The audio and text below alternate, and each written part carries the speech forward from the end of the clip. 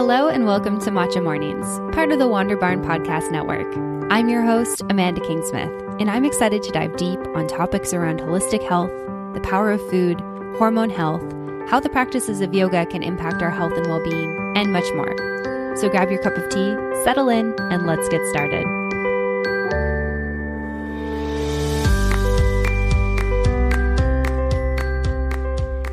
Welcome back for another episode of Matcha Mornings. I am so excited that you've decided to join me for today's episode of the podcast. And today on the podcast, I am very excited to be joined by Lindsey Williams. Lindsey is a yoga teacher. She is a fitness instructor. She's an osteopath student and she also has a background in nutrition. And this week on the podcast, we are talking about immune systems.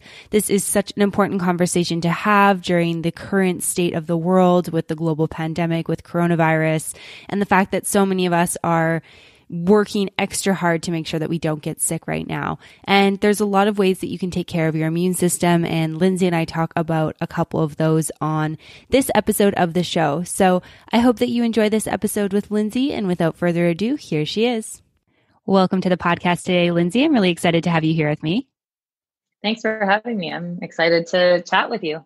Yeah, I'm excited to chat with you too. We've had so many good chats about health and wellness off the podcast. So it's really awesome to have you here. And first question for you is can you just tell listeners a little bit about yourself, where you're based, what you do, and all that good stuff?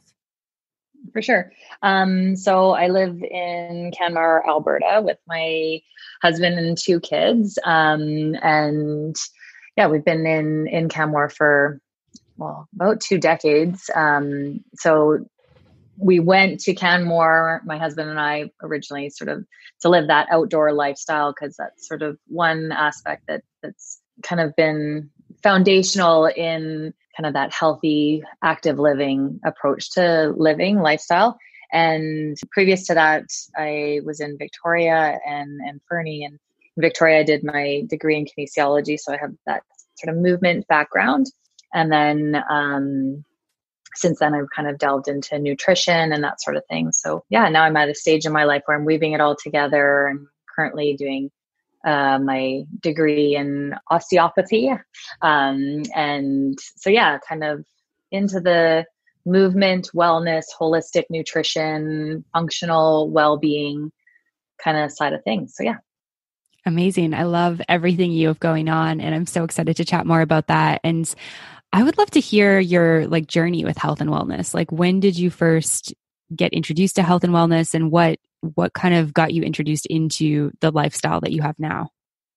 Yeah. Um so I probably it's not uncommon. I um, grew up with a little bit of an eating disorder and um, sort of that negative relationship or or I don't know, um, an unhealthy relationship with with food through my adolescence. I was very into swimming growing up, and um, so very active, and uh, continued that into my university years and and beyond. Um, so activity's always been um, a big part of my life. And while I sort of had the eating disorder kind of stuff, it felt like more of a controlled um, a controlling mechanism. Um, but then, you know, as I've kind of aged and and delved through different times in my life, it's an empowering way to be the the active lifestyle, and then nutrition um, has become a way to. I've, I've, really looked at it as as a way to fuel my body, um, not something to withhold or or uh, even control again, but to um, honor all the things that I do in my life and and to find whole healthy foods that can fuel those passions. Yeah, I love that mindset looking at food. It's uh and I think that you know what you're talking about i think is common for a lot of teenage girls i know i struggled with that as well when i was a teenager and into my early 20s and it's just interesting how you can shift the mindset from thinking about food as something that might make you look a certain way in kind of this like negative sense to thinking about mm-hmm. food as this thing that fuels all the things that you do. And that's really how I've shifted my mindset with food too. It's like the food that I eat keeps me doing the things I love to do. It means that I can go on hikes and go on bike rides and go for walks and you know work out and and practice yoga. All the stuff that I love to do happens because I feel my body properly and it's such a shift in mindset when you go through that going from like oh I shouldn't eat this because I might look a certain way to okay I'm going to eat eat this different thing and make this choice because it's going to help me with the lifestyle that I that I have. Yeah, exactly. And it's it's yeah, it's just that mind shift around um, food as fuel, but also even all the things that you're talking about, like the the activities, like looking at those uh, as fuel as well. Um, and and it just becomes this like energy exchange with um, you know the the fruits, vegetables, plants, animals, whatever we choose to eat, and, the, and then this energy exchange with the environment that we're around. So that fuels us. And then we're off doing different things, participating in our environment. So I just feel like it's, um, yeah, I, I feel like I've kind of evolved it into being a part of like the ecosystem as opposed to this, you know, less of a connection and more of like I was saying earlier, the the thing to control. And the other thing that that was really sort of foundational in that shift actually didn't even happen until almost 10 years ago when I had my daughter. I thought I, thought really needed to I needed to get clear on on this relationship so I don't um I don't be I'm not responsible for for perpetuating this onto another generation. So yeah, it's definitely much more healthy and and, and empowering way to to approach food and and the activities that we do. Mm-hmm. Yeah, absolutely. And I think that that's really beautiful. Like, you know, looking not only for yourself, but also for your daughter. Cause I think that for so many women, it's like we turn to the female figures in our lives. And, you know, it's no fault to, you know, our mothers or our grandmothers or our aunts if, if they have those struggles. But I think that, you know, for us, especially stepping into motherhood, being able to look at like, okay, how can I make sure that the things that I'm struggling with don't get projected onto my daughter is a really amazing thing. So I think that that's really mm-hmm. awesome that you were able to do that. Thanks. Yeah. Yeah. It's def- and, and, you know, like I watch her grow, she's almost 10 and, and seeing her relationship is, you know, with food and with, with the planet actually is what I, what I love. And so that, that full circle connection, I think is, is a neat one to witness um, evolving in my daughter. Mm-hmm. Yeah, absolutely. And so, one of the things that we're going to dive into today is talking about immune systems. And, you know, this is a mm-hmm. particularly relevant topic right now since we're in this this global crisis with the COVID-19 going around and it's just a really crazy time to be alive in a lot of different ways, but I think speaking for myself, like there's definitely been I've definitely been much more conscious on things that I can do to make sure I'm keeping my body healthy. So, looking at my sleep, my food, my nutrition, my vitamins, all that sort of stuff. And so, I'm excited to dive into that. And I'd love to hear, you know, just kind of you know your thoughts and and stuff around immune system and then some ways that we can start to boost our immune system naturally yeah for sure i'd love to chat about that yeah awesome and so what i guess to start with kind of how do you i guess like approach immunity? Like do you kind of have like a, a philosophy on it or a way that you kind of look at the different elements of the immune system especially when it comes to like your own and then also your kids? Yeah okay so i it's a, a great question to ask right now too because i you know i'm even like pondering it a little bit more myself as you said during during these times but um i think one thing I've always known, but and and more so now that I'm studying osteopathy is is our innate capacity um, to to achieve uh, healthy a healthy state. Like our that's our body's natural um, tendency, and we living our day-to-day lives whether it's through alignment or or through the things that we put in our body or the toxicities that we're exposed to kind of throw that innate balance off so when i'm talking about immune system i really am thinking about that how do we how do we support our body to do what it's designed to do? Our innate capacity to um, to heal ourselves and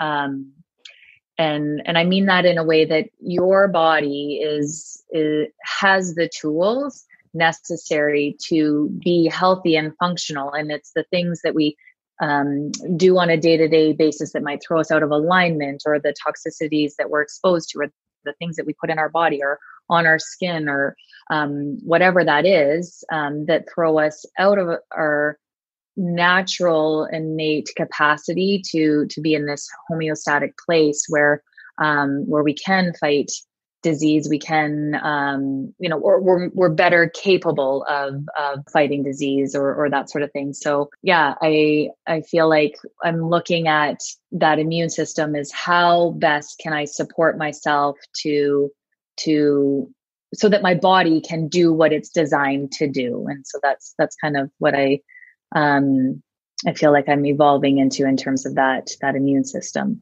and, and how to yeah that makes sense yeah, absolutely. That makes a ton of sense. And I, I really love that way of looking at it. I think that one of the things that I've really discovered through my own health and wellness journey is just how interconnected everything is. So I used to think like, oh, I have a stomach ache. So my stomach is aching because I ate something. And, you know, now I'm realizing like, okay, it's a huge stress center. So maybe it's not about the food that I ate. It's about, you know, where my mental state is at or the movement that I did or didn't do that day or how well I slept or how much water I had. Like there can be so many things that relate to this like stomach ache that I've, you know, previously only attributed to to food. And so I think immunity is very similar as well. Like I think I used to think of immunity as like okay, have I taken vitamin C or am I getting enough mm-hmm. vitamins? And there's so many totally. other things that that weave into it to create that that balance or that homeostasis. And so I'd love to hear like some of the things that you've been kind of doing and some of your practices for immunity.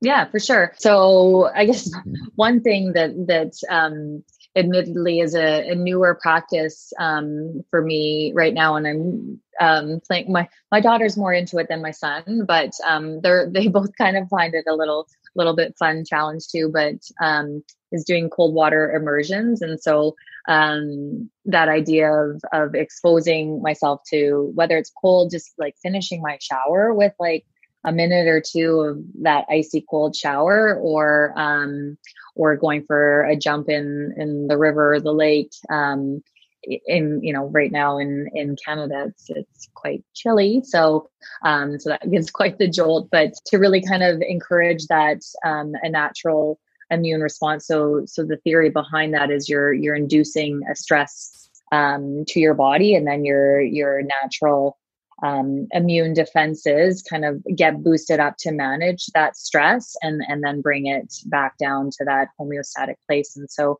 um, that's one thing that that I've found um, really invigorating, not only for I feel um, stronger um, physiologically. I don't know if that that makes sense, but like I feel like my body is is better able to handle um, stresses, and but then mentally even it's it's a neat and empowering um, kind of activity to do. That yeah, I, I feel mentally stronger after after these cold water immersions, which is just kind of a a neat thing. Um, and i'm sure like we could probably even have a whole other conversation on the you know that, those mental connections. But um, so that's one thing that i've been playing with a lot. And then really right now the big thing is this this stress on the the nervous system is is a big one because we've kind of had like this whole shift in our lifestyles um, and, you know, for many, there's financial stresses associated with it. For lots of families, there's, you know, the scheduling changes and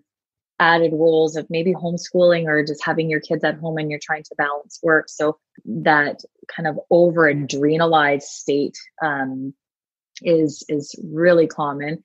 And and for me in particular, I find I've been weaving in more of an intentional breath practice and and meditation and um, I have my kids on board with that meditation um, practice as well, and and so it's amazing. Even um, we we've been meditating as a family um, the last few weeks, um, and and just how that kind of grounds us all are together, and you can feel the whole space kind of kind of just drop and down regulate and and that as well feels um, very supportive for for the nervous system and and therefore the um, the immune system. Um, and then things that are a little bit more um, all the time in my schedule that that I'm maybe more intentional about or, are things like the hydration and and even um, doing a little bit of neti pot a little bit more regularly and the the dry skin brushing a little bit more regularly to to kind of um, promote the lymphatic kind of drainage and and neti pot to moisturize the um, mucous membranes and in the nasal cavity and that sort of thing. So those those things are just um, more that frontline defense um, support and and the hydration for that same reason. Um, and what I'm not successful at right now is sleep, um, but that obviously is is one of the biggest kind of things that we can do for for supporting the the nervous system. But um, probably um, the, the everything's cyclical, and so you kind of have to also um, be mindful that you know for right now sleep right now i'm not rocking at the sleep department but um, there'll be other times where I'll, I'll be able to sleep with a bit more ease and probably not rock at the the hydration department. And and sometimes um, approaching that with a little bit of compassion too that we don't have to be perfect at everything all the time but that um, you know when we can optimize these things the the more the better. But also if you're if it's sliding off your scale of like consciousness of okay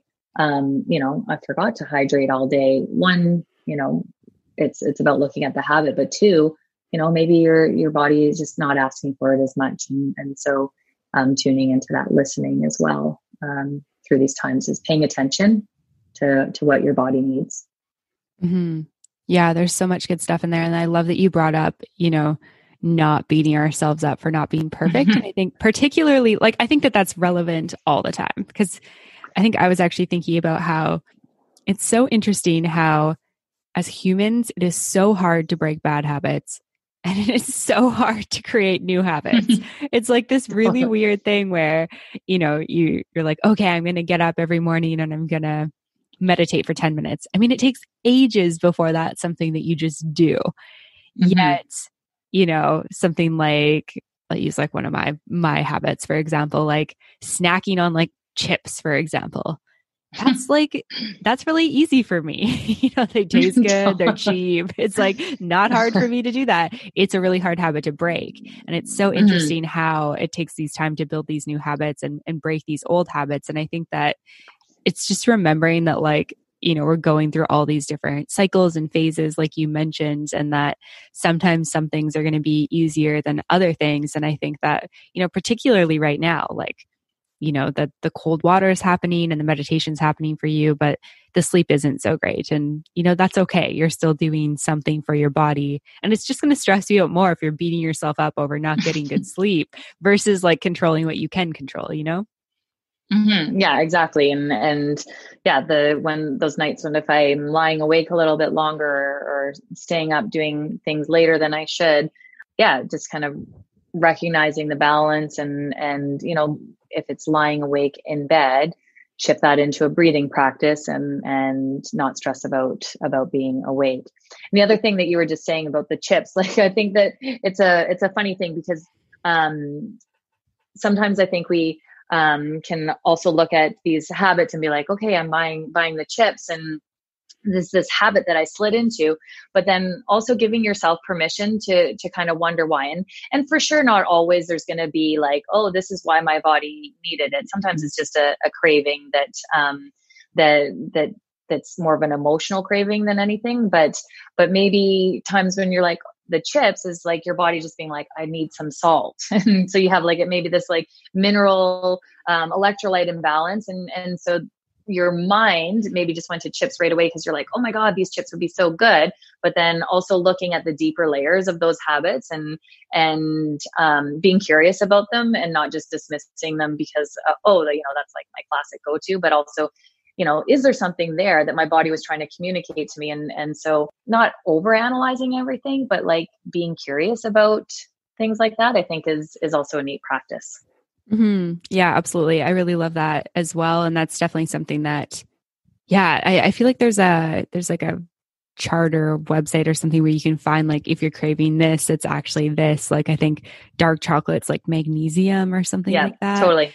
And yeah, is, there's, yeah. Yeah, it's really interesting to look at that. I, I've definitely like paid attention to that. And yeah, I think too, like for me, I've particularly just, especially during this time, like, you know, chips for example are something that i ate as a kid and i think that they make me feel safe and i think that that's part of the reason why you know it's the afternoon maybe i get stressed out maybe i see the news or something like that and then i'm like oh i want to eat chips.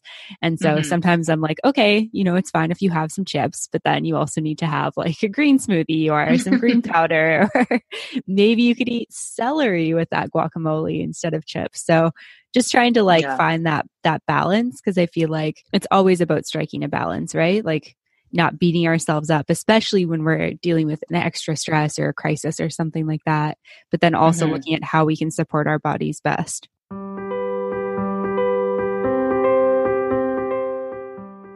Hey everyone, we're taking a quick break from the podcast to talk about Muse.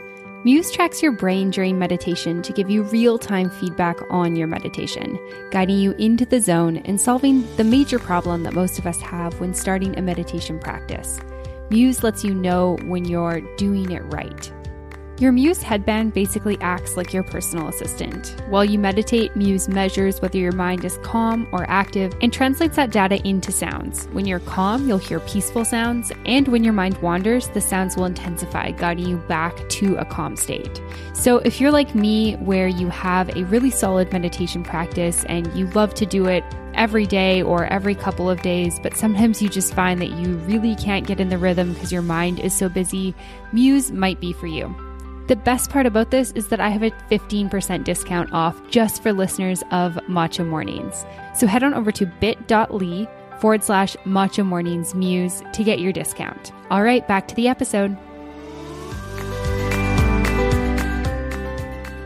Yeah, it's it's to be honest, like all of it's just a practice in in being like honest with ourselves and getting to know ourselves and how we tick and um, I mean, you've come to some of my yoga classes before, and it's what I preach in movement. Like, get to know how you move when when you're nourishing yourself. Get to know what your habits are. So it's all just like this digging deeper into finding out what makes you tick, what makes you what how do you thrive, um, and and how does your body optimally function. Yeah, yeah, absolutely. Yeah, it's it's so important to recognize that and recognize that like some things that work for some people don't necessarily work for for all people and all of us are yes. so different, right? Yeah, what makes things like popular and the craze is is usually just like creating a shift and and kind of that like moment where your body has to figure things out and then that will create some kind of shift but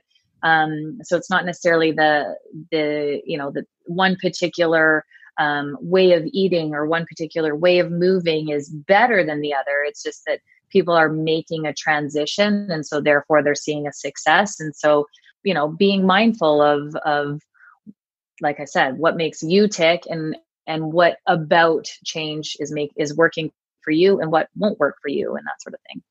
Mm-hmm. Yeah, absolutely. I really love that. And I think too, we all deal with stress a little bit differently. So, like, mm-hmm. understanding kind of our stress responses and just paying attention, like you said, I think is so important. Like, for me, uh, on top of eating chips, like a stress response, like, I know I'm stressed kind of unconsciously when I just like dive into TV like that'll be the yeah. thing that I want to spend like my spare time doing. So like I don't feel like reading, I don't feel like exercising, I just want to watch TV. And that's when I know that I'm like, okay, go out, go for a walk. If you still want to watch TV after you can. But that's like kind of where my mind feels like, okay, we're overwhelmed. Like let's just dive into mm-hmm. something where you don't have to think. And I think that that's really common for a lot of people. And I've particularly noticed it over the last couple weeks and just found like more than ever I need those like good habits to kind of balance out this like desire to also just like veg out in front of the TV.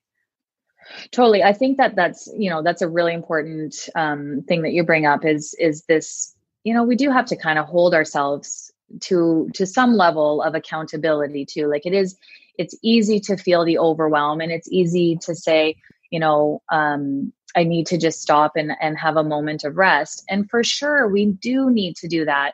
But then we also, it's important to move your body every day. And that doesn't mean you have to like crank out this like huge sweat or do like a crazy workout or, um, you know, like a full primary series ashtanga or anything that like is like really high adrenalized. But um but yeah like moving your body your body's designed to move so so giving yourself that that bit of, of responsibility not in this um shooting on yourself kind of way but in a way of i know that if i just carve out 10 minutes to move or 10 minutes to breathe or take 10 minutes before I, you know, go to find the next thing in the fridge and contemplate what would be the best for me. So just that pause and and create the space for these these habits um, you know sometimes it's just starting to move that that will that'll get you moving. And sometimes it's just starting to slow down that will get your you know your adrenal system to slow down. So like that meditative practice or the pause before you grab that next snack. Um, so so being intentional um, and not kind of um, passive in your choices Hmm. Yeah, absolutely. I love that. And then on kind of like the food and nutrient side of things, like mm-hmm. I know that I think that this is probably something you do like regularly to support your immune system and your family's immune system. But there is there any particular sort of recommendations or things that you've been doing just to keep immune kind of immune systems naturally boosted through our nutrition? Yeah, for sure. So um it's I I definitely um I'm a big proponent of of food as thy medicine, and so I think absolutely we we can do things with our nutrition to to help us be stronger through these times. And um, for us, we make sure that we have some healthy greens every day in our body. So whether that's a salad at dinner, um, you know, some extra veggies at lunch. Um, you know, sometimes it even is just a, a greens powder um, you know, because it is hard, a little bit harder for to to kind of keep on top of the produce, you know, and and and also socially distance from the grocery stores. So, um, so sometimes you kind of have to um, wiggle in those green sources, but but making sure you get those those healthy greens into your body is a big deal for kind of maintaining that the appropriate like alkaline balance in your body um, and and fiber and and that sort of thing. So that's a, a big one that that we try to be mindful of um, in our in our day to day and and weekly planning, and then um, just regulating like you know my kids when they're in and around the house they tend to want like those carb kind of things a little bit more not to vilify one sort of macronutrient but but for sure um you know where our activity level is a little bit less um you know and that we're not out and about as much. And so so monitoring that particular macronutrient in our diet and just making sure that it's not out of balance um for all of us. So that's that's another thing that we're doing right now is is is a little bit more focus on on protein um, and healthy fats in our meals. Um, and then personally what i'm doing is is um, I, I tend to weave in an intermittent fasting protocol into into my day to day, and and so I think that um, this helps that control of inflammation. Of course, if we have inflammation, then our bodies or, or the natural physiology and our, our body's not able to kind of function optimally. So um, that's that's more of a personal kind of thing. Obviously, I don't don't do that with my children, um, but but that's something that um, that I think is is really supportive, um, something easily done right now. And so I think those are the the top three things nutritionally um, that that I would recommend to to people if they were asking me. And yeah, I think that that that hits the top three, anyways.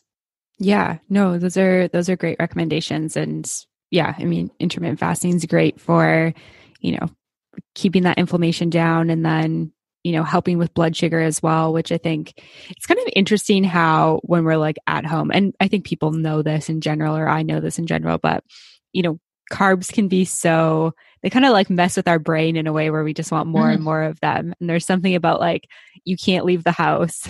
we're not supposed to be leaving the house and we're kind of stressed out.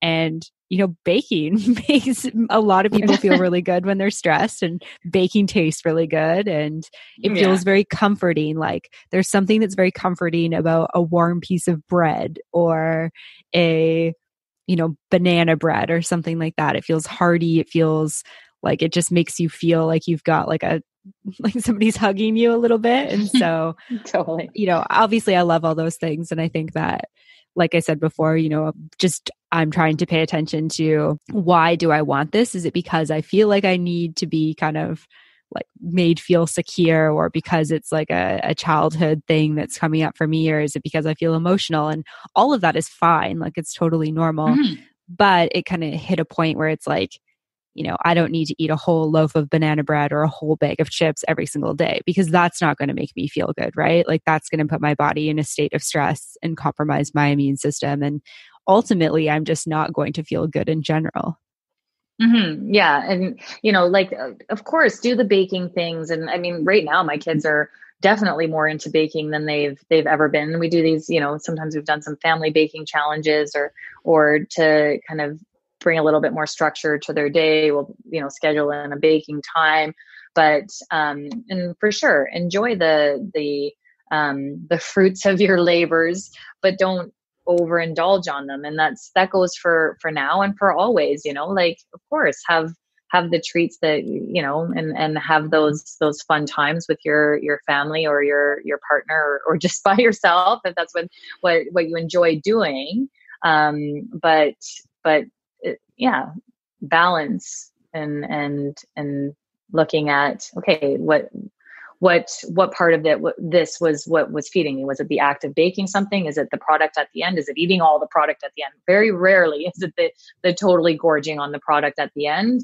um, but sometimes we kind of let ourselves go and and um, and whatever you do it once and then you realize and then you come back you know and and those are those are those times where we have to have a bit of self compassion as well yeah, yeah, absolutely. And something else I'm curious about is with vitamins. Do you do like any vitamins mm-hmm. or supplementing or that sort of thing on top of kind of all the other stuff we've talked about? I don't um, have a regular vitamin routine, um, and that's it's that's one of those things I've always like. Oh, I'm a holistic nutritionist. Should I should I be taking multivitamin? And you know, I I think there's times where I'm like, I really feel like I need to be taking a multivitamin, and and likely that's my body missing some nutrients um, and vitamins in in my diet. And then there's you know then I kind of just forget about it, and I think those are you know whether I've been topped up or whether I'm like accessing the vitamins from other sources. I'm I guess more of an advocate of of trying to have like a varied diet and making sure that you're getting things in what you're eating rather than than the supplementing. You know i always like to recommend probiotic you like having you know kombucha or, or even yogurt you know then then do you need to be having the probiotic? You know i don't i don't know. And so i think i'm more of an advocate of like a varied um, diet over supplements and and I don't know if that's as a result of of because I innately have a varied diet that that and I find supplements a hard habit. I don't know which, you know, if I'm putting too much of my experience in, but I I would definitely, you know, encourage people to if supplementing feels challenging to to look at your your what you're buying and what you're putting into your mouth in terms of your food um, and and then of course then you can save the extra expense of, of the supplementing if that's also a concern at this time. Mm-hmm. yeah absolutely. That's a great point because supplements are especially good supplements are really you know not cheap. I think when i was in university i used to spend and even in my my i guess like early to mid 20s i spent a lot of money on supplements and vitamins. And I think I was firmly in the mindset of like, you know, if I'm not eating super well all the time, which at that point I wasn't, like at least I'm getting some of these nutrients through vitamins. And absolutely, I've, yeah. Yeah. And I've sort of shifted my mentality now. I mean, I travel a lot normally when there's not a global pandemic. Definitely grounded right now, um, but normally travel quite a bit. And so I just found like, the last time I was on a big backpacking trip and when I was taking a lot of supplements, like half my bag was full of this stuff. I was mm-hmm. like, okay, this isn't super doable and super sustainable. And now I've looked a lot more at like, okay, are there ways that I can like eat my vitamin C and, you know, mm-hmm. eat my vitamin A and get these other things and that, and that sort of stuff. Right now during this, um, my husband and I have both been taking more vitamin C, vitamin D, and lysine. And the vitamin D has mostly just be, been because we transitioned between Panama and Canada. And although Canada is starting to warm up, it's still, we're getting a lot less sun than we were before. Um, mm-hmm. But when we're away, that's not normally something we take. And it's felt pretty easy to do those vitamins like during this time. But yeah, I can see myself like shifting off of that once I feel, you know, just a little bit more comfortable with the the virus situation. Yeah absolutely. I think you know and and you know likewise like at the the whole start of this you know i made sure we were stocked up on vitamin c and zinc and had our same thing vitamin d on hand because of course we're you know not spending as much time outside. And um and so i i definitely had a lot of those things a little bit more um handy. And we were religiously taking them for the first you know 10 days um but that's definitely fallen off um whether that's like psychologically or we kind of like chopped ourselves up um, and our body didn't really need them anymore. You know, who who knows which which is to say which, but yeah. And and the other thing that I like I mentioned earlier, the a supplement that I tend to kind of have on hand is is like a greens powder, um, and I think that one's kind of a nice one um, to just look at that to, for the the nutrient balance kind of side of things. Yeah, absolutely. I 100% agree with that. I think also too like you bring up uh,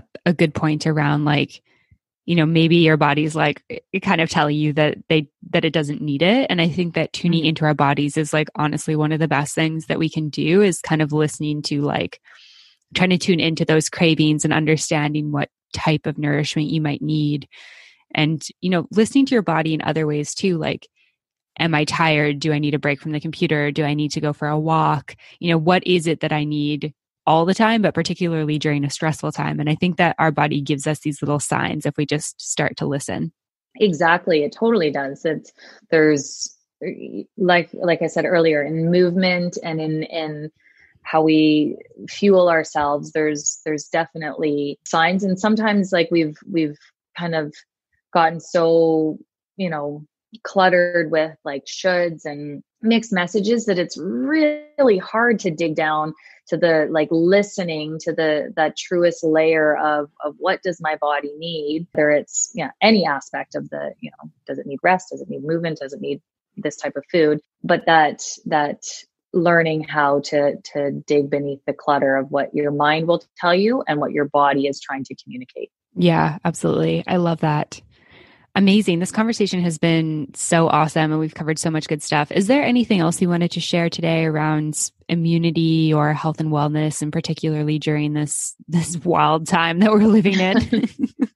um I think it's just, you know, like it, it's just that message to to be kind to yourself but also that you are capable of of navigating through this. You have within you an innate capacity and and really see if you can tap into that inner strength in, in an empowering kind of way. And and not like you need to come out of this like a superhero but you have tools. And and if you're confused by those tools or how to access those tools there's so many resources and people out there um, like myself with with you know the the wellness industry background that that are available to you. And so you know reach out to to the nutritionist to the the movement specialists and with those questions because we're definitely still here to support um, everyone through these times. And so feel empowered like get to like you got this and and if you don't got this then someone's here to help you get this and and and it's okay. We're like in this together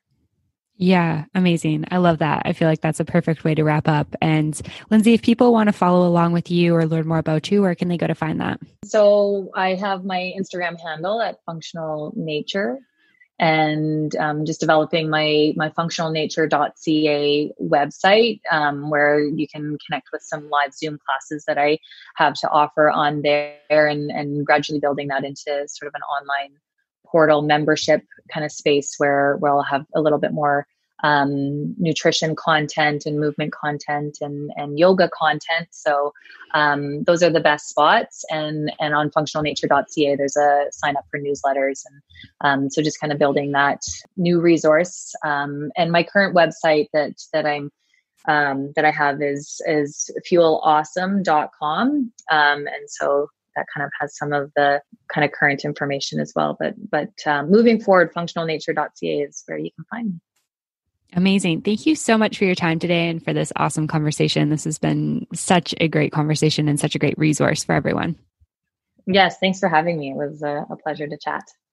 All right, friends, I hope that you enjoyed that episode of Matcha Mornings with Lindsey Williams. You can find the show notes with notes and links from what we talked about in today's episode of the show over on wanderbarn.com forward slash Lindsey. It's L I N D S E Y. And before we end this episode of the show, I just wanted to share about a couple other awesome episodes that are happening on some of the other podcasts that are a part of the Wander Barn podcast network. So over on The World Wanders, my husband and I I have been interviewing people that we are friends with and that are in our community around the world who are currently stuck in countries that are not their home countries. So, part one of our episode went out last week. We talked to a friend in Panama as well as a friend in Argentina. Part two is coming out this week, and we're going to be chatting with some more friends who are experiencing the craziness of the quarantine from a traveler's perspective. And then over on Mastering the Business of Yoga, which I also host, and you guys have hopefully heard an episode of already, I've been talking a lot about online yoga business. So this week's episode of the podcast was with Barry Rissman, and she is amazing. She's a yoga teacher, a studio, a former studio owner, and author, and we're talking all about how she's been able to build this successful online community. So if you are a yogi or a yoga teacher or somebody who's been looking to expand your yoga business, I would definitely recommend checking that out. And you can find the feeds for those on wanderbarn.com or on their own websites at theworldwanders.com or mbomyoga.com or on any of your podcast apps. All right, that's all for now. I'll see you soon. Thanks so much for listening to this episode of Matcha Mornings. To find links mentioned in this episode, show notes, photos, and more, head on over to wanderbarn.com forward slash podcast slash matcha dash mornings. To be the first to know about brand new episodes of Matcha Mornings, subscribe on your podcast app. If you enjoyed this episode of the show, please leave a review or send me an email at wanderbarn at gmail.com with the subject line Matcha Mornings. To follow along with me, Amanda Kingsmith, you can find me on Instagram at Amanda Kingsmith to learn more about other fun projects I'm working on. To find more great podcasts like this one on topics such as travel, the business of yoga, cryptocurrency, and more, head on over to wanderbarn.com. Thanks for listening, and I'll see you soon.